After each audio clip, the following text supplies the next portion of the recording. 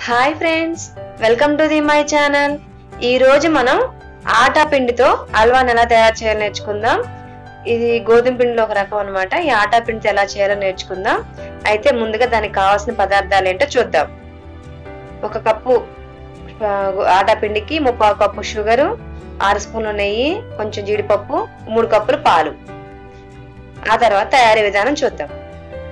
ఒక ప్యాన్ పెట్టి అందులోకి త్రీ టేబుల్ స్పూన్స్ నెయ్యి వేస్తున్నాను. ఆ నెయ్యి కాగిన తర్వాత అందులోకి జీడిపప్పుని డ్రై ఫ్రూట్స్ మీకు ఏమైనా ఇంకా ఎక్స్ట్రా కావాలంటే కూడా యాడ్ చేసుకోవచ్చు. నేను ఒక జీడిపప్పు మాత్రమే వేసాను అది మొత్తం కూడా వేసేసుకోవాలి. కలర్ మారేంత వరకు ఫ్రై చేసుకోవాలి. అలానే పూర్తిగా రెడ్గా వచ్చేలా కాకుండా కొంచెం కలర్ మారగానే తీసి పక్కన పెట్టామంటే అది స్లోగా తర్వాత కలర్ చేంజ్ అవుతుంది. అందుకని కొంచెం ఫ్రై అవ్వగానే తీసి పక్కన పెట్టి ఉంచుకోవాలి. ఆ విధంగా గిన్నెలో తీసుకొని పక్కన పెట్టి ఉంచాలి. ఆ తర్వాత ఆ నేతిలోనే ఆల్రెడీ కాగి ఉంది కదా ఆ నెయ్యిలోనే ఆటా పిండి తీసుకొని యాడ్ చేసుకోవాలి. ఆటా పిండి వేసిన వెంటనే మనకి ఉండలు కట్టకుండా స్పీడ్గా తిప్పుకోవాలన్నమాట. స్లో ఫ్లేమ్లో ఉంచుకుంటే మనకి మాడిపోకుండా ఉంటుంది. నెయ్యి మొత్తం ఆ పిండికి అప్లై అయ్యేలాగా కలుపుకొని మొత్తం ఫ్రై చేసుకోవాలి. పిండిలో పచ్చి వాసన అనేది ఉండకుండా వేయించుకోవాలి. మనకి వీడియోలో చూపించిన విధంగా కొంచెం కొంచెంగా తిప్పుతూ మొత్తం మొత్తం మనకి ఫ్రై అయ్యి మంచి స్మెల్ వస్తూ ఉంటుంది. ఆ విధంగా మనకి పూర్తిగా ఫ్రై అయింది అనిపించిన తర్వాత అందులోకి షుగర్ తీసుకొని పక్కన పెట్టుకున్నాం కదా ఆ షుగర్ యాడ్ చేసుకోవాలి. స్వీట్నెస్ తినేదాన్ని బట్టి వేసుకోండి. ఇక్కడ నాకు ముప్పై కప్పే పట్టింది. ఒకవేళ స్వీట్ ఎక్కువ తినే వాళ్ళైతే కప్పు వరకు వేసుకోవచ్చు.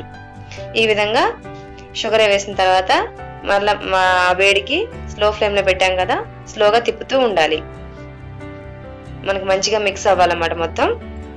ఈ ప్రాసెస్లో తిప్పుతూనే ఉండాలి. ఏమాత్రం మా మధ్య మధ్యలో ఉండలు కట్టేస్తుంటే జాగ్రత్త చూసుకోవాలి. పాలు కొంచెం కొంచెంగా యాడ్ చేసుకోవాలి. ఒకేసారి పాలు మొత్తం యాడ్ చేయకూడదు. ఫస్ట్ కొంచెం పాలు యాడ్ చేసి తిప్పుకోవాలి. ఉండలు లేకుండా జాగ్రత్తగా తిప్పుకోవాలి. ఆ తర్వాత మిగిలిన పాలు కూడా మొత్తం కలిపేసి జాగ్రత్తగా దగ్గరగా తిప్పుకోవాలి.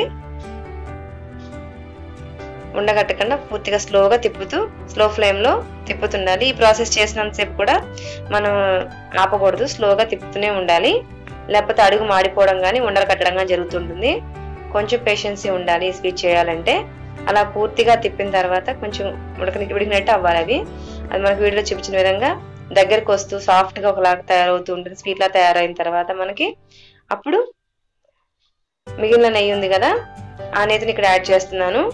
నెయ్యి కొంచెం ఎక్కువగానే పడుతుంది. ఇంకొంచెం కావాలి అనుకున్న వాళ్ళు ఎక్స్ట్రా కూడా యాడ్ చేసుకోవచ్చు. నెయ్యి మనం మధ్య మధ్యలో యాడ్ చేస్తూ తిప్పడం వల్ల ఏమవుతుందంటే ఉండలు కట్టకుండా ఉంటుంది అనమాట మొత్తం స్టార్టింగే వేసాము అంటే తిప్పడం కష్టం అవుతుంది. ఈ ఈ టైంలో మనం యాడ్ చేసి మరలా ఒకసారి కలుపుకొని మంచిగా మనకి ఆ నేతిలో వేగేలాగా తిప్పుతూనే ఉండాలి. ఆ విధంగా తిప్పుతూ ఒక ప- పది నిమిషాల పాటు మళ్ళీ ఉడికించుకోవాలన్నమాట. మనకి పూర్తిగా గోధుమ పిండి పచ్చి వాసన అంతా పోయి షుగర్ అంతా మెల్ట్ అయ్యి మనకి మంచి స్మెల్ వస్తూ తెలుస్తుంది అనమాట ఆ విధంగా వీడియోలో చూపించిన విధంగా పూర్తిగా దగ్గరికి వచ్చిన తర్వాత కొంచెం ఒక రెండు నిమిషాల పాటు మూత పెట్టి ఉంచుకోవాలి. ఆ తర్వాత రెండు నిమిషాల మూత తీసేసి అందులోకి ఇందాక వేయించుకున్నటువంటి జీడిపప్పు ఉంది కదా అది యాడ్ చేసుకోవాలి. ఆ జీడిపప్పు యాడ్ చేసిన తర్వాత ఒకసారి మిక్స్ చేసుకొని చిన్నగా స్టవ్ పని చేసుకోవడమే. అంతే ఒక సర్వింగ్ డిష్ తీసుకొని సర్వ్ చేసుకోవడమే. అంతే ఎంతో ఈజీగా ఆటా పిండి హల్వాని ఎలా తయారు చేయాలి నేర్చుకున్నాం కదా. ఈ వీడియో కనుక నచ్చినట్లయితే లైక్ చేయండి మీ ఫ్రెండ్స్ అండ్ ఫ్యామిలీ షేర్ చేయండి. Thanks for watching